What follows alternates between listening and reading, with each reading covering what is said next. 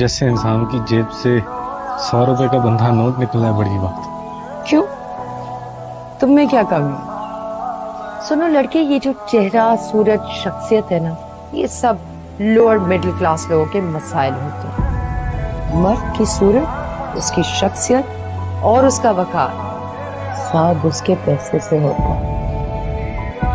खुद को इतना अमीर करो कि ये जो तुम्हारी शख्सियत के ऐब है ना दुनिया को स्टाइल लगने लगे।